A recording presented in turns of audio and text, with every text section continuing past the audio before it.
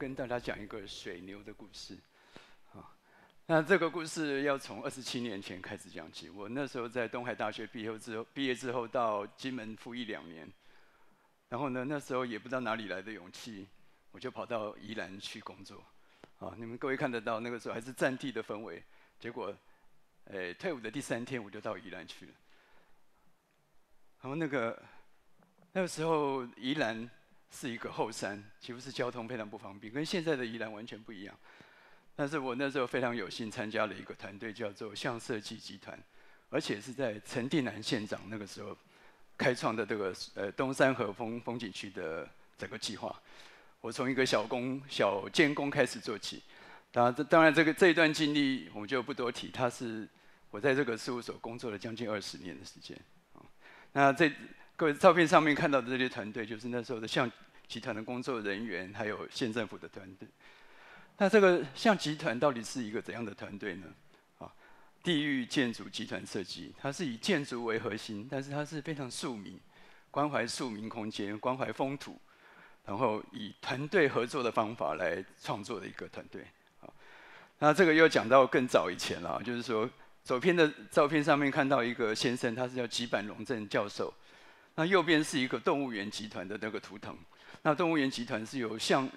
集团带领，然后有各种以动物为名称的这个团队，他们都是从事创作的。在吉坂教授是科比义先生，就是远端戴个圆跟我一样戴个圆圆眼镜的那个先生。科比义先生可能大家不熟，他是这个现代建筑三大巨匠之一。所以在这个传承之下，到吉坂先生，到他的徒子徒孙这些动物园集团。但是这个动物园集团由向开始，他们遭遇一个困境，就是在，呃，一九八八几年的时候，是一个日本那个经济崩盘的时代。那这个团队从东京出走，他们反而去另外一个思维是往乡村去，啊，所以这个图就看到说，他们从东京到北海道，然后到琉球，甚至到台湾，啊。他们逆向思考，去往这个乡土的地方、往旷野地方走，反而是开枝散叶。啊，那比如说往北海道这个团队呢，他们在呃北海道找到一个废弃的学校当做他们的事务所。这个学校就是因为少子化的关系啊，结果呢，在这个呃开阔的环境之下，他们倾听土地的声音，啊，反而在设计的领域里面更更加的开展。啊那所以呢，从大象演变成为水牛，好，在十二年前我来到土沟村啊，然后用在甚至在七年前我正式开业的时候，我用水牛当这个事务所的名称，也是传承了这一脉这个思维。啊，大象跟水牛都一样，他们都是慢，可是他们非常的稳定，就是 slow but steady 啊，那。在这个阶段之下，在那个土沟村民的协助下，我找到一个这么优优雅的那个那个古厝事务所当我的事务所。这我想我相信这也是全台唯一的了啊。然后呃，在七年前我的事务所开幕的那一天，村民一起来参加我的开幕仪式，那个好像是办喜事一样的啊。那村民也来了，我的家人也来了啊。那当然这一脉的这个思考就是说，为什么这个一个。呃，事务所要开在乡村，它怎么维生呢？其实有一个更深的思考，我想从象集团得到的一些移动的过程也好，他们的哲学也好，那我就用这个岛屿建筑师，我不只是一头水牛，我还是用岛屿这两个字，因为我们在台湾岛。那上面这个图是我的女儿画我，啊，四岁的时候画我的样子，可是我那时候很瘦啊，他们怎么会画一个？其实有道理的，这是一个不倒翁的图像，就是永不放弃的不倒翁这样子。那这张画面是习德进这个一个非常有名的画家，他画迦南平原的风景。这张也是，啊，所以呢，那个风景其实我在高中时代就看到，其实已经印深深印入我的那个思维里面。所以我来到土沟，一样的是要寻找这个失落的风景。那这个风景就是土沟看得到的风景。那这个风景也是我台在北部桃园龙潭故乡看不到的，已经消失的风景。我来到了土沟。找到了这这么动人的风景，啊，所以呢，这个这个团队他们从日本经过琉球到台湾，然后呢，在台湾落脚生根。但这个团队他们还在宜兰工作，只是我自己独立之后，我开始呢，就是除了在本岛江南平原工作之外，我去收集所有岛屿的作品，这样子。所以我现在的事务所的作品有金门的，有澎湖的，甚至还有马祖的。所以岛好像越来越小，从他们从日本是我们大十倍的国土，到台湾这个岛，到现在还在创作。我又到更小的岛，像澎湖、金门。那我就勉励自己说，岛好像越来越小，可是我们的梦其实越来越大。好，那从这个岛屿的思考，我们来再看看我们所生存的那个迦南平原。啊，那这个观念就是说，每个聚落好像是一个岛屿，啊，周围的这个田野就好像海洋一样。那这个这个思维也不是我发明的了，有一个这个原广司的日本非常有名的建筑师，他做聚落调查的时候，一个观念就是聚落它是一个岛屿。那它因为是封闭的环境，它必须要互相支持，好，然后它必须避免孤独，要互相的体体会，所以对内是一个一个一个完全呃那个不设防的一个环境啊。那我在江南平原开始做了这么多的这个环境的调查，这就是一个啊，就是把江南平原的这个愿景四五百个聚落的环境，也到过了嘉义的六角，但这个就是台南的关田，还有金门的珠山。还还有落脚的台南的土沟，那这个观念就是说，没有建筑师的建筑，它为什么美啊？那这个美就是它是因为千百年来整个修正啊，没有建筑师，但是它是一个群落啊。建筑师的角度来看聚落的话，我们是用人类学的精神来探索它，而不是说对单一的聚落做长期的探索，而是从各种探索里面找到它的秩序。那我一次落脚这个土沟来帮土沟做了一些事情。啊，土沟顾名思义，它是一一个村子，它里有一条水沟穿越其间。啊，那它又是在江南平原的中心。那土沟这个地理环境里面，各位如果去过的话，它非常丰富，有皮塘，有水郡，有田野，啊，还有很多漂亮的这个庙宇等等老建筑。可是我觉得最重要的风景是在那边勤奋工工作的农民。那我利用事务所的力量，帮土沟村利用这个农村再生的机会，做了一个全盘性的一个整体规划，把闲置的空间找找到，然后跟居民一起参与，做了一个这样的我们叫做“水水的梦”的这个构想的发展图。呃，“水水的梦”的计划，其实我进驻这个村子已超已经超过七年，甚至这启动十年。这个这个过程里面，不是说啊，我们马上进去，外人就可以有发想，其实。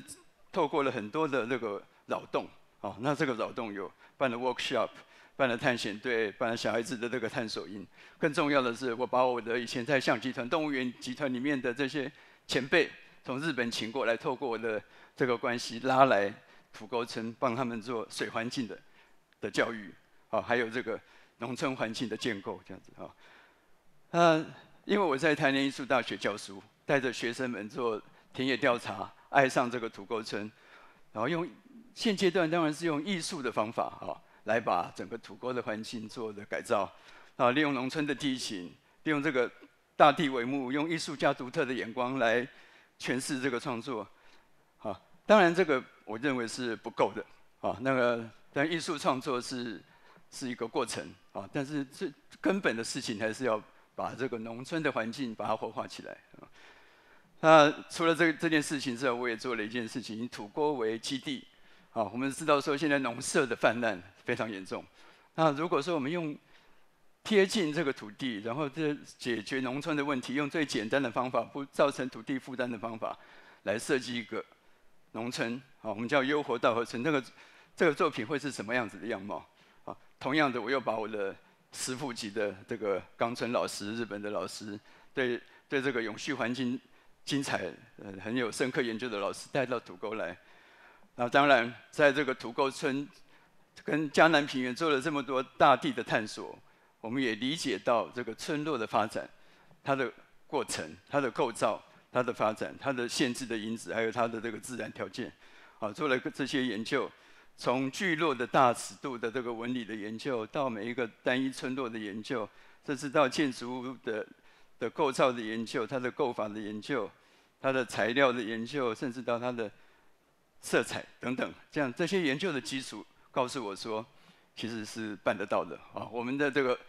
空间不一定要用外来的元素，我们自己探索，我们自己土地里面就找得到非常丰富的养分。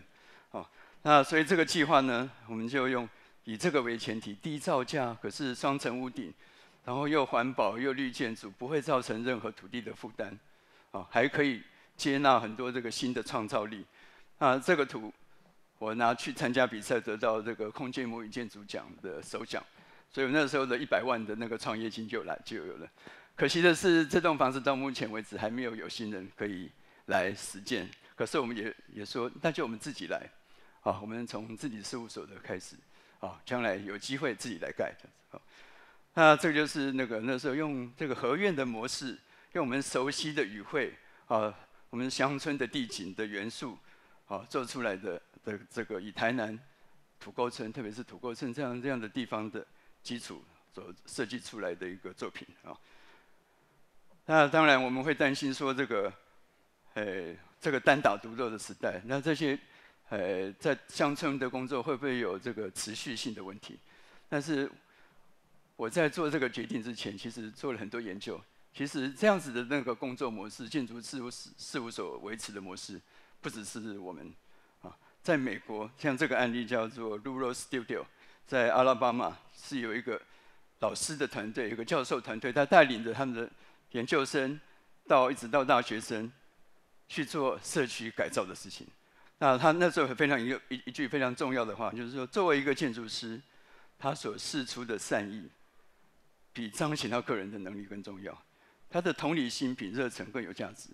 啊，这个我觉得不不是在做社会服务。你们看到他的这个作品，啊，是非常有创造力的。即使用最简单的素材，啊，这个对做设计的人来说，这是一个非常有创造力的作品。啊，那一样的，啊，我也在那个。二零零七年一个演讲里面，听到一个来自德国的建筑师，他也做一样的事情。那他的观念是什么？Building as a social process，就是建筑是一个社会实践的过程。今年五月份的时候，我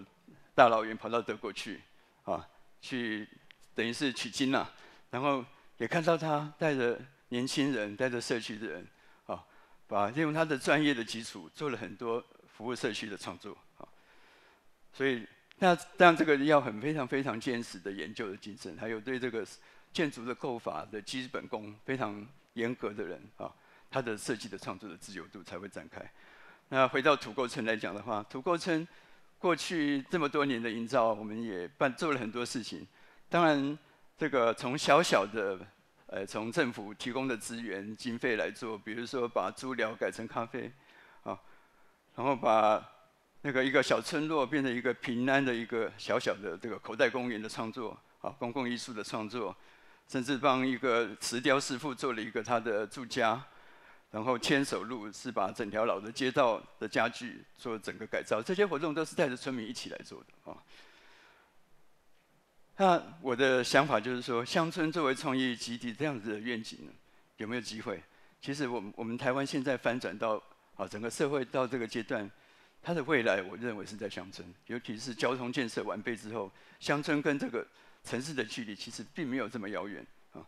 啊，乡村回归运动也方兴未艾。怎么说呢？我的事务所人本来从五个人，啊，最近八个人，啊，去年自动到事务所来报道的年轻人越来越多，我根本不用登一零四，就会有年轻人自愿到我事务所来工作。所以这个乡村回归运动，我觉得是是一个契机。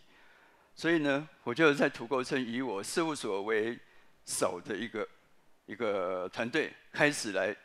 来建立一个跨领域的社群。所以我在台南艺术大学的毕业的这些学生，他们在土沟村做完研究之后，拿到硕士论文回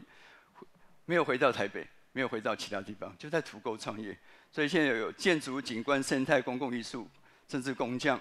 社区文化的团体等等。一个关键字就是用陪伴的关系。来做积极参与社会的事情，啊，所以发现是创造的断续断续。但这句话呢，是我的呃向设计集团的创办人讲的话。所以这些对土地的发现，听倾听土地的声音，做深刻的研究，是为了创作而展开。可是呢，有趣的事情是，另外一个非常有名的美国建筑师，叫是叫做那个伊姆斯，他也讲过，创新是最后的手段。为什么？因为你如果没有扎实的基础，你用创新为名而为名而造成这样这样子的伤害，会比其他的借款还多。这看起来好像是相互矛盾的事情，其实是一件事情。啊，你的创作的自由还是要建立在你对土地的认知、对环境的认知的练练习上面。好，所以过去的这三年来，好，呃，土沟的社区营造从十几年前开始，一点一滴、一点一滴建立共识，到理解，好。到带着村民一起来做，啊，做了很多艺术创作。那累积在从前年开始，把这些工作的累积，我们办了一个活动，叫做农村美术馆，好，以整个村当美术馆。它是全台湾最大的美术馆，因为它有一百多公顷，啊，但是这个活动从前年开始啊，就造成热潮。去年延续，啊，又办了很多这个类似的活动，而且一个关键是。这些活动都是自自主，我们很用非常少的这个政府的资源，用民间企业募款，用我们的社区的人力的投注，还有学校的资源，好，所以今年就办了一个活动，啊，那这个活动会延续到四月份为止，欢迎大家都去看。那我们事务所今年提供的一个作品也很有趣，啊，我们用盖了一个厕所，啊，可是看不出来这个是厕所，这是我们的，像这个年轻人呢，他是来自英国的。自动到事务所来报道，他也不知道从哪个网络找到，他是学家家具设计的，他就当我们的工头，带着学生，啊，我们一起做，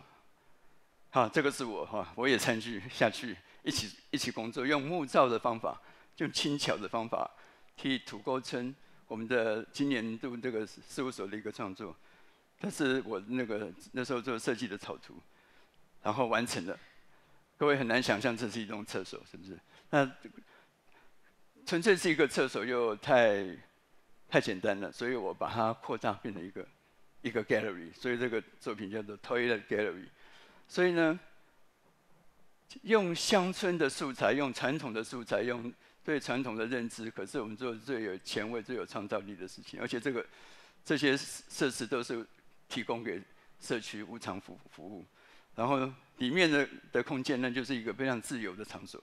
好，那这个这样子的探索的过程，只是一个小小的案例，啊，那所以我也鼓励说，我们的事务所的年轻人，能够跟我一样，啊，我们到乡村来，啊，我发功给他们，啊，希望他们能够当做种子，